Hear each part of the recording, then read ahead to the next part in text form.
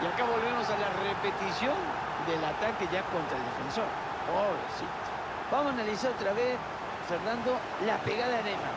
No es que le pegue muy fuerte, porque no nos tiene acostumbrado pero de media distancia le pegó esta vez ante el asombro de todo